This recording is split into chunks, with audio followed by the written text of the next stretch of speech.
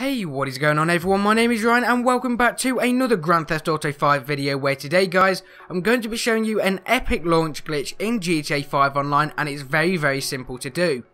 So for this method, what you're going to need is the vehicle called a barracks. Now I know some of you guys will have one already, but if you don't, what you want to do is just come to this location displayed in the video. It's very very simple to do and if you come here in the daytime 9 times out of 10 it will actually spawn so you don't really need to worry on the spawn location.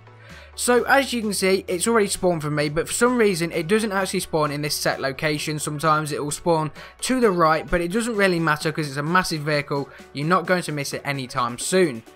So once you go ahead and get the vehicle you want to take the same route I do in the video it's literally just straight ahead from where we were before.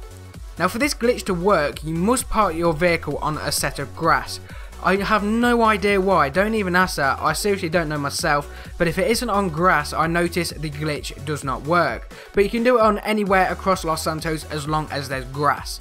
So what you want to do is get out of the vehicle, jump on the front, and then you just want to slide yourself down into between this gap and the tyre.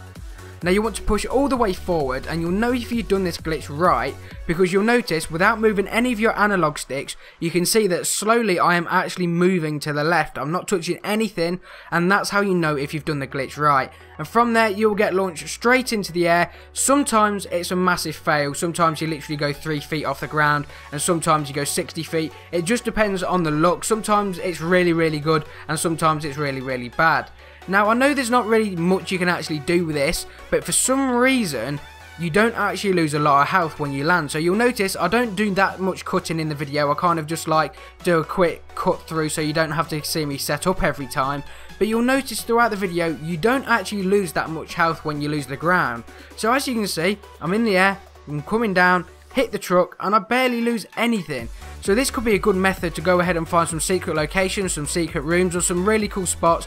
I know you do get helicopters in GTA 5 but you know I guess it's just a cool little method that you can do, try out and have some fun with your friends.